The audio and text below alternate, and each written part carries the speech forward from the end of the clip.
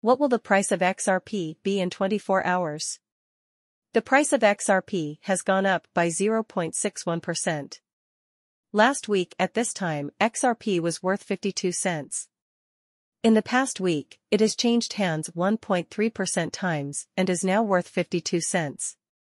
In fact, XRP has gone up by 0.61% in the last 24 hours. There is a small bearish mood in the cryptocurrency market.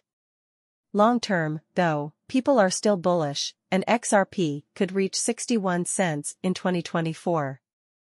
As of the time this piece was written, there were 53,387,299,665 dollars worth of XRP in circulation.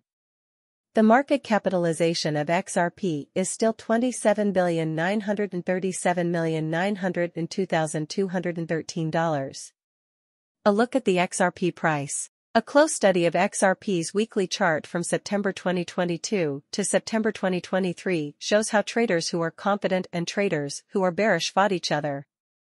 The XRP market has gone through a number of ups and downs over the past year. XRP was worth $0.5006 at the time this was written. How much will XRP cost?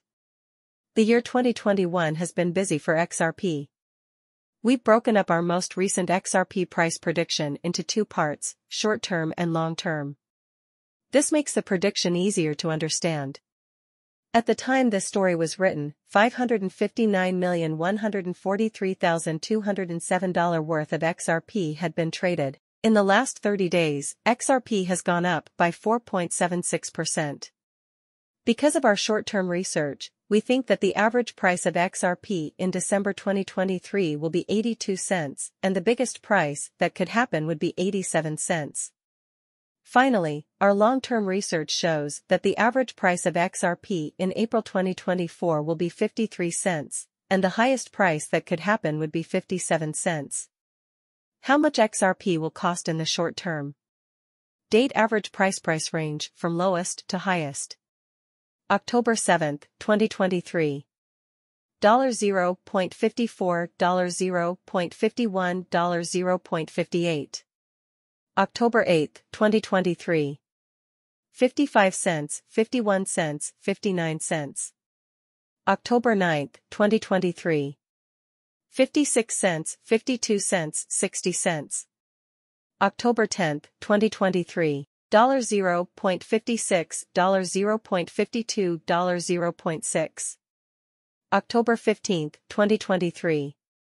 $0.6, $0.56, 0.64. October 20, 2023. $0.65, $0.6, 0.69. October 30, 2023. $0.74, $0.69, 0.8. In November 2023. $0.81, $0.75, 0.86.